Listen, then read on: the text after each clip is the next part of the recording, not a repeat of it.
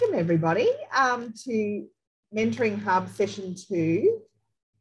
We're talking about vision and have you got one for you as a mentor? So that's where we're going to go today. These um, are my details. If you um, want to contact PEPA a little bit more about some of our Mentoring Hub work, please contact me and we can follow up and have further conversations need to acknowledge the lands on which we meet presently. I'm coming to you from Euro Lands here today out in Ipswich, and it's the home of the Warpay tribe in my area. So I want to acknowledge the traditional owners, past, present, and emerging, and acknowledge any people who are watching this recording now um, and say thank you for sharing your uh, lands, your customs, and your laws. But if you're watching this now as a recording, um, where there's moments where we say, think about this, just take a moment and reflect quietly and think about what you'd like to do in regards to some of the questions we're asking, because that helps drive your thinking forward and helps you progress as a mentor in this process. We have our usual disclaimers and copyrights as well, um, because you're welcome to use this information We create it um, for this functions of palliative care education and training as we're funded by the federal government and Department of Health to support all of healthcare workforce learn more about palliative care. So the PEPA Mentoring Hub lives under that auspice. If you'd like to use any of our material, feel free. Just reference it like you normally would any of the material we use. So when we come together for these sessions, we always have a way of presencing. So we, this is the fourth capacity the seven capacities of leadership that Otto Scharmer defines in U theory. And the fourth capacity is that we come together with an open mind, so we're curious, an open heart, so we're compassionate, and an open will to have courage. And always we have self-care and you know we're really looking out for ourselves in this moment and coming together to do learning is really part of that. And we're compassionate. Um, we're compassionate to hear the story of others but also we um, have compassion for self, which often is something that when we're not doing as well, we offer compassion out to others freely. We're often not good at giving it to ourselves. So that's what I'd like to see different in the universe very soon, I think. Today, we're thinking about this idea of what is a vision. Um, why do we need one? How can we work towards our vision? The plan ahead. Well, how do we then make it all come together? Um, and and then what does a five-year plan look like? So in PEPA, we have developed a five-year plan, and for this hub session, um, if you're watching this video as a recording, you'll see in the learning management system that you've joined up through, there was actually a link to a five-year plan document that we created in PEPA really great if you could download that um, as a writable PDF, start working through it. Go, how does that work for you? Um, and as that can help just make you plan and think more about it. Because as it says here, to create a vision is important because that's the thing that makes you want to jump out of bed in the morning. So that's what we're trying to think about. So here's a definition of a vision. So I was very formal and got it out of a psychology dictionary because I thought that'd be a bit fun. Uh, so basically, I like these definitions for a few reasons, but I'll let you read them for a moment. And then have a thought.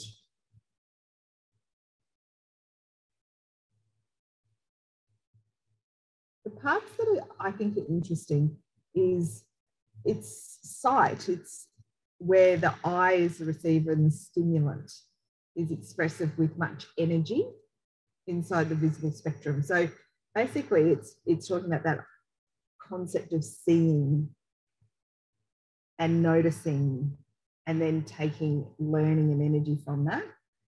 Um, and I think that's what is so important in a vision. And that third point of a cognitive picture so you're creating a mental image and a vision of something that you want to be that will give you energy. So, not take your energy or be hard work and too hard to do. A vision should be something that you aspire to be and that holds you holds a strong focus for you. Um, and I just like these few quotes. Um, when you start Googling visions and how to create visions and everything, oh, the world just opens up in plentiful amounts. Uh, so these are just nice ways to think about it. Your vision is not limited by what you can see, but what your mind can imagine. So, how perfect is that? Um, and I love Jack Canfield. He is a, um, you know, a motivational speaker and he does a lot of corporate training to inspire people. And so I've always been a bit of a fan of his. Um, and he always talks about this you only have control over three things in your life the thoughts you think, the images you visualize, and the actions you take. And I, I don't know, I really like that one as well. Um, that first quote actually comes from an astronaut as well. So I think, you know, you're looking at people who are driven, who have vision and focus and have really achieved great things and they inspiring other people. I mean, an astronaut inspires many future astronauts. Um, Jack Canfield works tirelessly every day with multiple people at high levels and, you know, has multi-million dollar selling books to inspire people to make change as well. So that's why I just think there is a lot of leaders in this world that are, have got this idea of vision really well thought out. But, you know, why do you need to do it? Why do you need to create a vision and a future plan? Uh, because, well, here's a good list of reasons I think that you might want to do it. Um, I think it helps you really get your focus Today, what are your priorities? What do you want?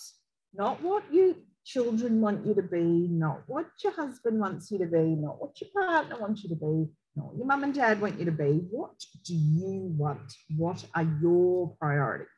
This is what this is all about. This is all about you for the moment. And I was actually in another conversation this morning where someone went, It's hard to do though because we think it's selfish. Okay. But it's not.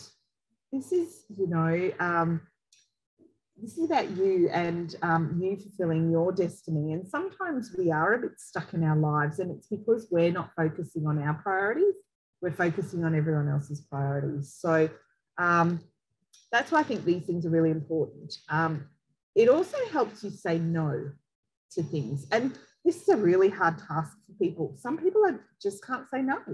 They say yes to everything, but then are quite you know, tired and sad and burnt out when they realize they just they can't they can't do it all. All right. Um, helps you see where you need to make change. Wow, that's awesome.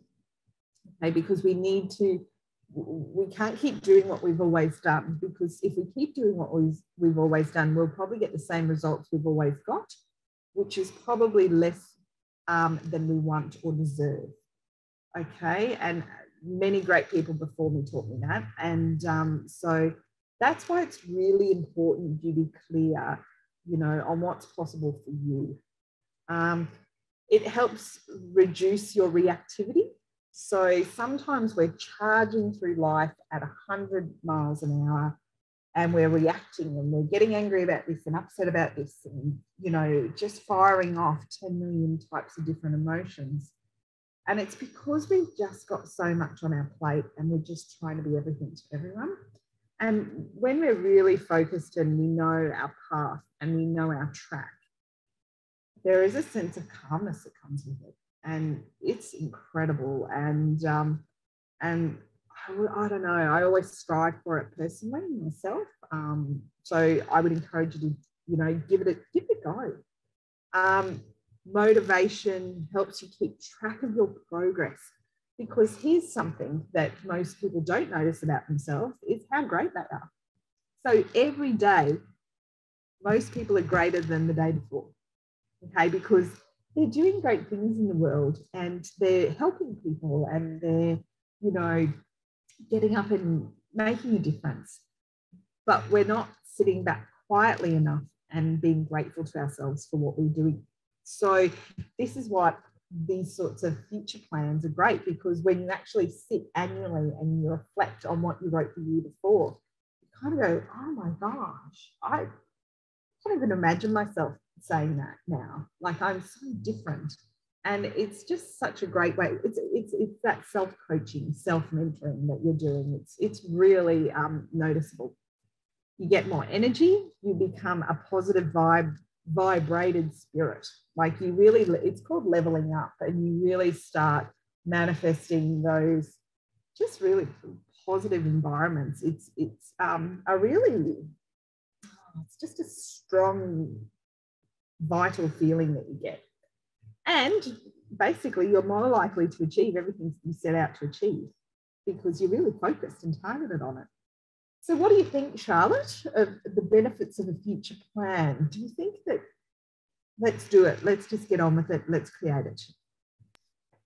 Uh, yeah, no, it it absolutely it's great to have a future plan. The the I struggle because I because I complete my future plan and then I go, oh, what am I going to do now? so it's like it's taking it up the next level. Yes. So here's the great thing. We're going to actually get to that today. We're going to talk about what's those little steps, those little 1% changes that we can start doing to get our vision in, in action. Okay, so we're going to talk about that today. So that's a great point. And I think we can really integrate it into today. So, what do we need to think about to make a vision of me in the future? Okay, so this is a question here. Like, so what are you focused on now? Um, so what do you want to be? I mean, at different points in, life, in our life, we're different things, and, and I get that. But if we're right now in this moment, I want you to reflect and I want you to go, what is your dream? You know, like if you want to think really big at this point, why not? You know, you're allowed to go go big if you like. You know, this this could be, I mean, this could be 10 year you, could be 20 year you. I don't, you know, I don't want to restrain you and I don't want to restrict you. Um, but you know, what do you want? And then so, you know, in this first phase, I want you to just write it down. So if it's, um, well, you know, it might be, I just want to keep doing what I'm, I, I want to keep doing what I'm doing now. That's awesome too. Because you might be in this really great space where you're really happy with what you're doing now. Um, and then, so give it, give it a title. It might be, um, keep doing what I'm doing now. All right, let's go with that. So the, the next question you can follow through, and if you're doing this five-year plan in the document that we have here at PEPA, um, which I'll just sort of hold up to the camera like that, um, you'll actually see all of these steps go through. So the next question um, is, what is social you? So for you to back yourself and actually get to that place where you can be um, fulfilling your dream, you have to go ask yourself what is the social you going to look like in that status? So what's your relationship status? Will you be married single divorced in an open relationship? Will it be with children without children with animals without animals? Like just try to I, I think what you've got to do when you're visioning is you've got to see yourself from all perspectives as possible. So have a think about that for a moment you know um, is it with the kids? Um, and, you know, um, because if you already have children, I don't know that you're going to give them away. Um, uh, you know, so if you have those children in, in your life, is it five years down the track and maybe they have grown up and left the house by then? That could be a possibility.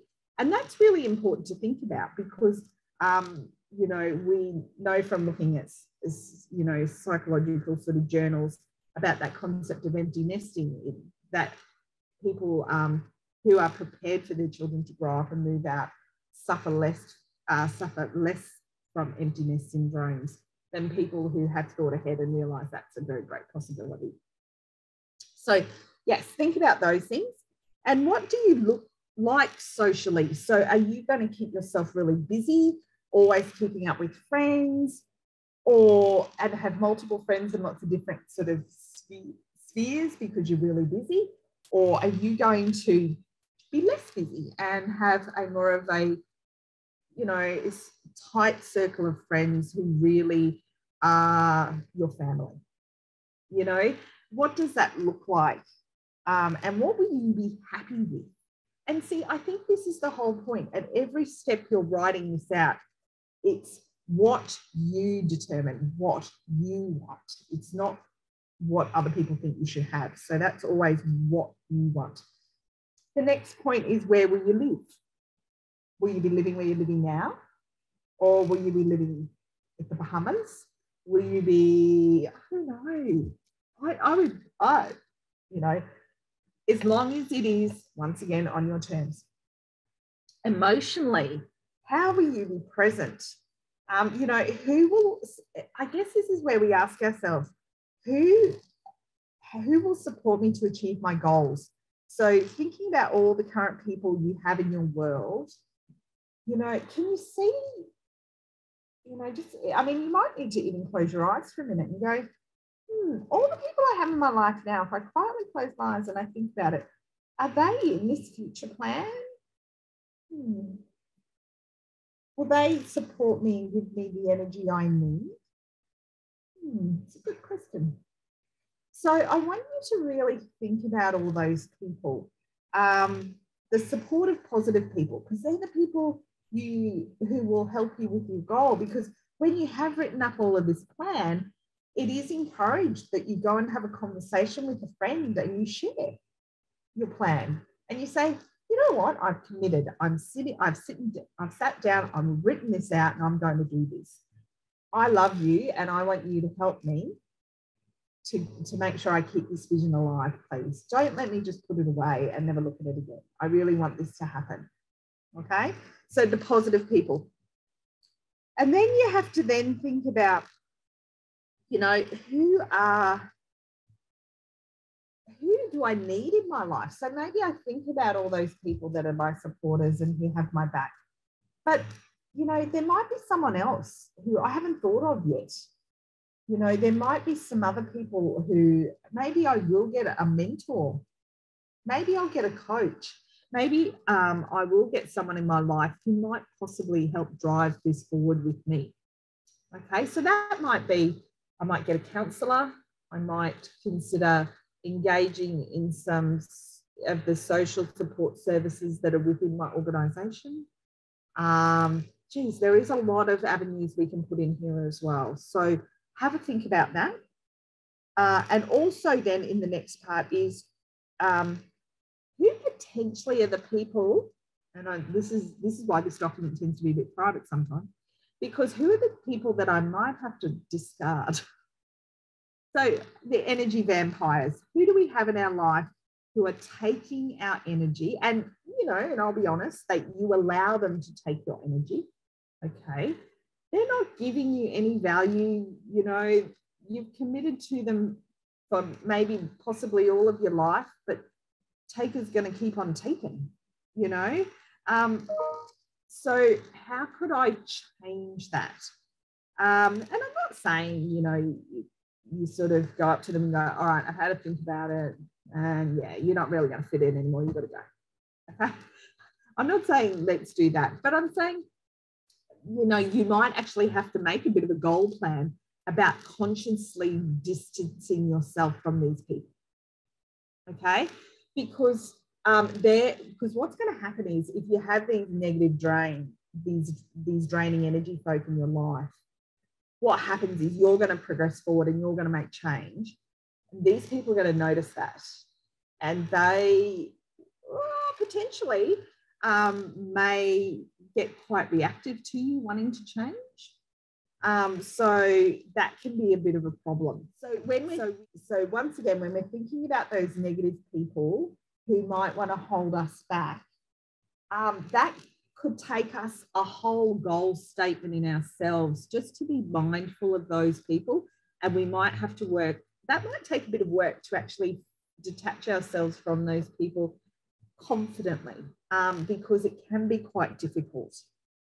Um, and then how do I distance myself? You know, um, and, and that's what I'm saying. Like that's a whole goal statement in itself. So you really need to be, have a mindful sort of idea around how you're going to do that. Then we get to that point where we think, when I make this change in myself, um, you know, and I'm this new best version of myself that I'm really happy about, um, you know, how will that benefit the world around me? So that's all about, um, you know, having impact on the on the community around me. So when I've changed it up and I've and I've and really growing myself in the direction that I want to be in, how you know would that have impact um, and benefit to maybe some volunteer groups, some community groups that I might extend myself to join. Okay, it might be um, so, you know, for me personally, recently, um, I've really become a member of Orange Sky, um, which is a really good um, service that provides um, conversation and clothes washing service to people in need um, and you drive around in a truck and you pull up and you uh, um, support people to wash and dry their clothes. And while you're doing that, you just check in and you ask them how they're going. Um, and that can, you know, that supports people who, you know, are living a bit hard in life, you know, and have got some disadvantage. So that's something that it, it might grow you towards being that sort of version of you that you're really proud of. Um, and what level of health and exercise will you need to support you in this vision? Okay, well, you have to start moving a bit more. Mate, I mean, I'm not talking about joining a gym and running, you know, um, 10K, mar- 25K marathons or anything like that. I'm sort of talking about just moving more. You know, will I make a conscious um, effort to walk twice a week or three times a week? Will I not take my car anymore and will I use public transport? It's those sorts of things that you, you just think. And what hobbies? Ooh, um, that's a big thing that people don't have a lot of anymore is hobbies. Um, because we spend so much time working, we spend so much time with family and friends that sometimes we're not got any other interests anymore. So really thinking about hobbies because hobbies are all part of that self-care world where we go, what would I do? So, you know, um, just Renata or Charlotte, do you have a hobby? I'm a crocheter. Yeah, I do some painting. It's been a while now that um, I haven't um, done anything, but last weekend I just went out, got some canvases, so I'll probably I'll start doing again soon. Awesome. And so that's what at this point we'd be thinking about how can we nourish that hobby and really make it important for our self-care to do that and engage in it. Then comes a financial question because it's very nice to have the dream, but you know, what is the income that you need to be able to afford it? Um, so, you know, is doing what you're doing now, that's enough um, what will be your source of income? So you might have to do some research on this one. You might have to start looking around and seeing what income people do get for other positions that you hope to achieve. Um, you know, or if you're going in for early retirement, well, how much money do you need to retire early? That sort of thing. So that's where you might want to think more about that as well. And then finally, what new skills might you need to be who you want to be in the future? Okay, so it might be that, you know, um, for instance, I always have that sort of note that if you think you might be the next CEO, you know, of an organization, you know, what qualifications do you have to, what are, you know, the qualifications that are favored if you're going to be a CEO of an organization? Is it something like an MBA um, where you do the Masters of Business um, Administration? So, you know, do you need an MBA? And then maybe that's going to be a big focus of your future plan is actually planning out where you're going to do that integrate that MBA learning into your future plan as well. So think about the skill set it might be. Uh, to be an educator. Yes. Uh, in tertiary education.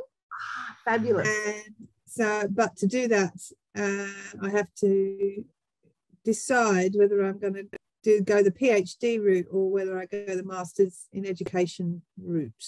I love learning, and so I really love the idea of teaching other people to love learning. Yes, yeah. you know, and so that would be in your five-year plan is then going, well, do I want this road or do I want that road? So, you know, some of your goals then may have to sit around thinking about, well, maybe if I have to have some conversations with people who've got a master's of education first, then talk to some other people who've got done the PhD pathway and see which one, you know, more sort of aligns with my values and strengths as well. Yeah. Yeah. yeah. So no, that would be part of your those little incremental pieces that you're going to do to step yourself towards your vision.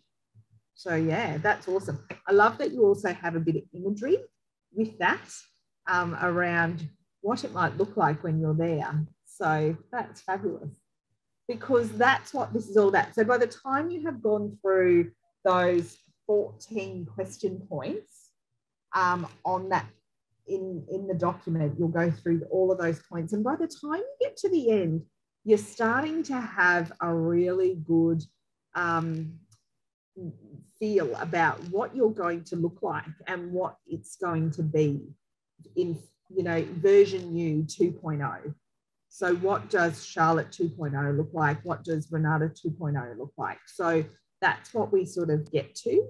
Um, and i um, and so it's a this point is about visioning it. So this is where you get to do craft i think.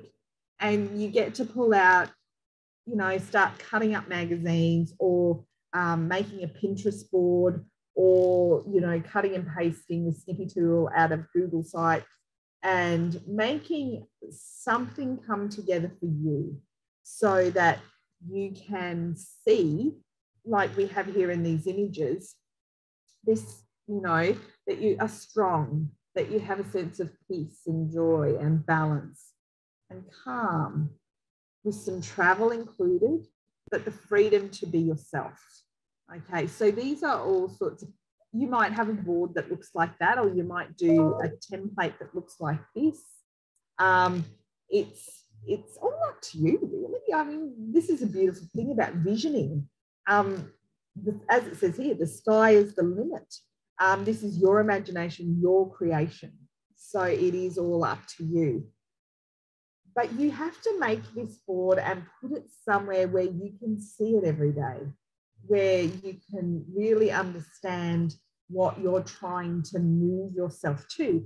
And the great thing about this board, and this is sometimes why it is good to do them electronically and have them like as your screensaver sometimes on your computer, is because as you might change your thinking. Like you might go, oh, no, that's definitely the path I want. So I'm going to take that picture out and I'm going to put this picture in. Or mm. no, I definitely want that. So that's going and I want this, you know, I want this document in there.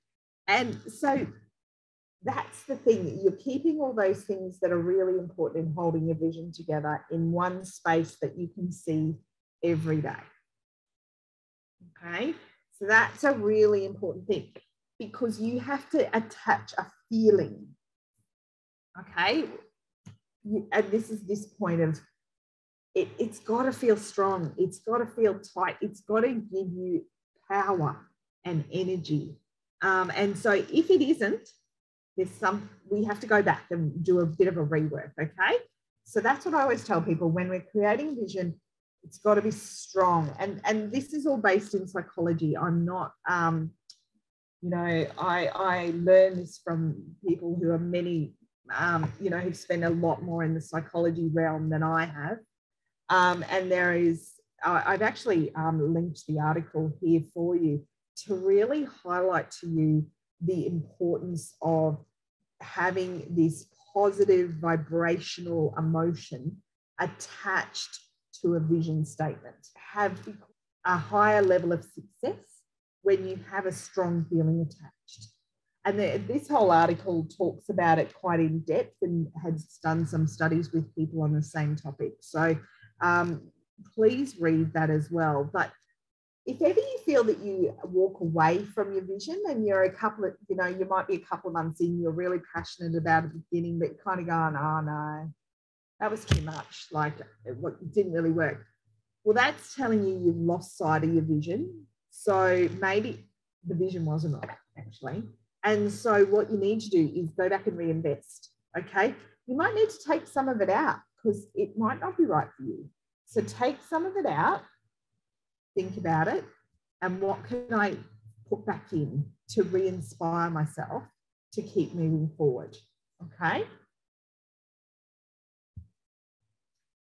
Because once you've got that really strong visual statement, and this is why the, the, the it's got to have a strength to you, um, you know, and that's why this is so important. It's all about you. Um, you've got to have that strength statement because once you have that strength statement and you're attached to it, um, you will find that the little incremental changes you need to make every day to become that next best you is a lot easier. So, um, so for instance, when I um, coaching people, I find that when I'm coaching people, a lot of people say to me, "Right, my vision is um, I am going to be 72 kilos. Okay, all right. I don't know. So 72 kilos, like, is that so? What will 72 kilos get you? You know, and that's where we have to start really eking out what 72 kilos means. Because if someone just goes with that, nah, I'm going to be 72 kilos, that's the vision. And then they wonder why um, they still eat chips and they still eat chocolate and they go, oh, I'll worry about 72 kilos tomorrow. I really, I've had a hard day and I'm going to eat these chips. And it's just because 72 kilos is, um, it's just a factual thing. It's just, it's a number. It's, it doesn't have a lot of anything attached to it unless you back it with some feelings, some visioning, some what would that look like? What will I feel like? Where will I go? Will, you know, I feel just like, how will I feel like that. And so you actually have to do a bit more work in there um, to really um, attach yourself to that habit. Uh, because once you have that, you'll do the little incremental changes. You'll find yourself going, you know, yeah, I'm really tired. I'm really tired and I don't want to go for a walk today. But you know what? I'm so, I, this vision of being strong is so important to me. I'm going for a walk. Right. And you'll go for a walk. All right. Because your vision is so right to you at this moment that you'll just pick yourself up and you'll go do what you need to do because your vision is stronger than the reasons why you shouldn't. Okay. So this is where the emotional component is so important. Okay. So this incredible man, James Clear, talks about this 1% better every day. So he's sort of saying, you know what, you can make these massive goal statements and you can be really rigid with yourself and you can, you know, drive yourself bonkers, if you like, with setting, you know, goal parameters and, you know, and if you're a checklist, checklist person, awesome, you'll love this and you'll embrace it. But if you're not, how do you make sure you get 1% better every day? Okay. You really have to embed yourself in what you're willing to change. What are the things that you're willing to give up? So, can I ask you now, just right now, um, to think about if you think about your vision, what are you willing to change to make that vision happen? Charlotte, do you want to have you got anything that you know you're willing to change to make your vision happen? going back to school, yes. I know that that will take up a lot of my time and energy, and uh, which is why I like it to be in my five year plan. Uh, it because my children are young, and so if I decide to go back to university again, having promised them that I wouldn't go back and do another master's uh, four years ago, that I'm now thinking I might do another one. So just I'm not quite ready to lose that time because once I commit to going back to university, then then that will pull me away from um, my social life. So yeah. I have to be willing to give that up. So that is a great example. Thank you for sharing that because that is a great example of I am willing. So this is my vision. I want to be an educator. I am willing to make change, but I'm really thinking about the date of that. And that is probably going to be in the, you know, the third, fourth, or fifth year of my plan. Awesome. That is so great because that's quite an insightful plan and it's quite, you know, it's it's you know, it gives you those aspirational things to work towards. So it will keep you driving on that path that you have. So no, that's great. Um, you know, I've just done it recently where I've got a very strong future plan of self and um, and you know I had um, I've made a choice and what I'm willing to change was to give up this job as national PEPA manager and walk away um, so that I can follow my path um, which is to be um, you know a health and wellness coach and a life coach um, professionally in my own business so that is what I will do now so yeah it's about those steps you want to take to keep moving yourself forward because I, I just know how much impact um, I feel I have when I'm helping people and I'm coaching them. So that's the energy that I want to keep having now moving forward. So that's another example. Um, Renata, have you got anything? I mean, I, I'm thinking I'm doing something quite dramatic. I'm not saying that everyone has to do that. Um, simplistic things are lovely too. Um, have you got anything, Renata?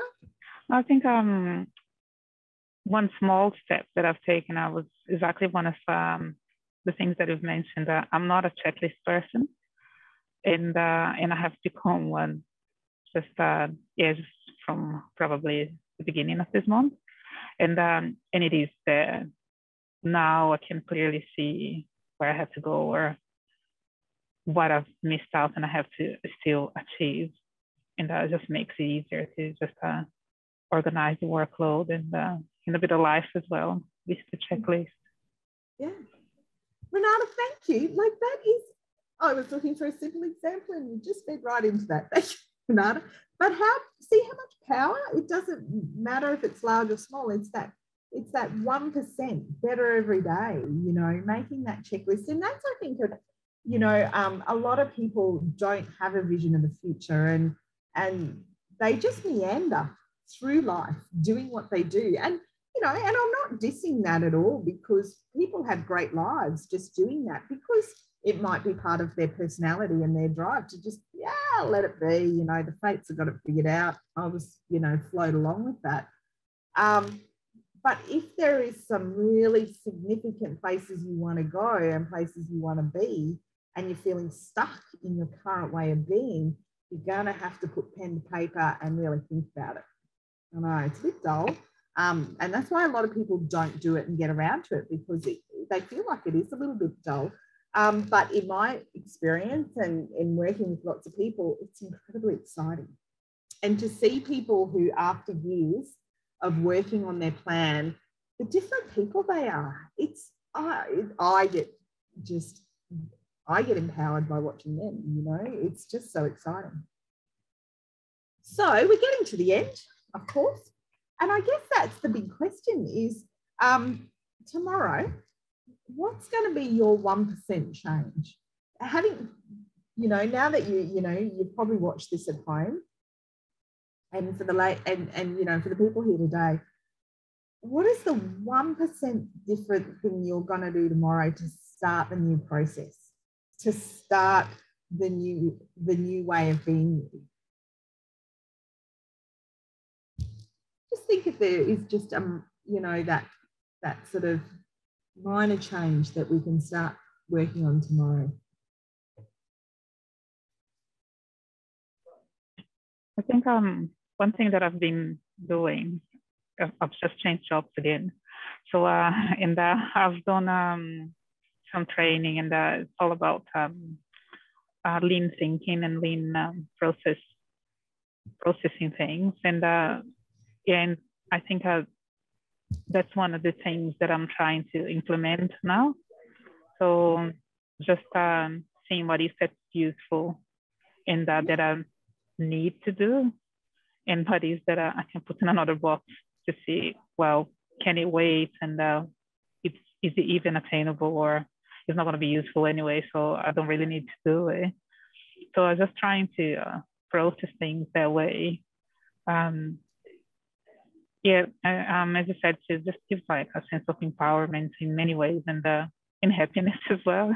uh, it right. is that um, you avoid a lot of stuff that you don't really need to do. So that's that's quite good. There are so many people who could do something similar. What do I really need to do today?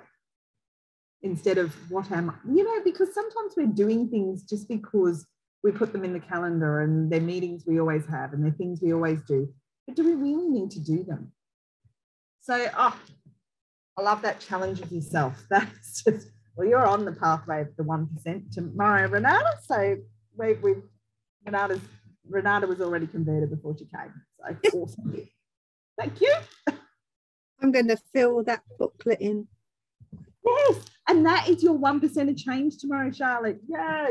You're actually going to go and you're going to create that vision and you're going to surround yourself because you're then going to build it and then you're going to share it with other people and say, this is what I'm going to do. This is what I'm going to look like. And well, this is the final thought for the day. And I think it's really important because sometimes when we're you know, making these big vision statements, we do them for a little bit and then we give up.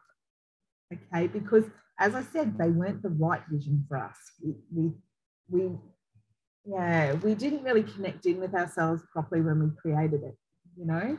Um, so if you're tired of starting over, stop giving up. There we go. How simplistic is that in a perfect world? And so here's a few references. I will also into the learning management system put that article for you if you do want to make just learn more about the role of those positive positive emotional attractants um, when we're trying to you know really engage with ourselves. Um, so I will sort of post that up in the board as well. But also, I just want to, I always try to put a few links in, um, which just might be interesting for you to watch later. And um, this great just eight minutes where James Clear just dynamically talks about that 1%. Just change it. Go on. And he's just dynamic and he talks about that. And then um, this one I love up the top here. It's all about, because there is um, reading literature about making change, there it's a multi-million dollar industry. Like it's a billion billions and billions of dollar industry. These so you can read book after book. You could read for the rest of your life about this art of doing change. So this is just um, a 12 minute clip which just highlights some of the key books and overviews what might be important what you might get out of it i think it's i thought there were some things that were really good in there and then, of course, you can't go past Stephen Covey with his seven habits of highly effective people. It's done in a nice little pictogram, six minutes. It's a bit interesting too. Um, I just put that variety in there just to stimulate your thinking and go, yeah, that is another way of thinking as well.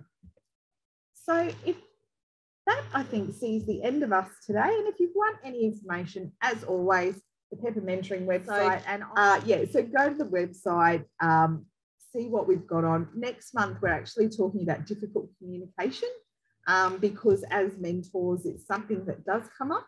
And so, how can we do that with more confidence? Is where we're going to head to with next month's conversation. So, I look forward to seeing you then.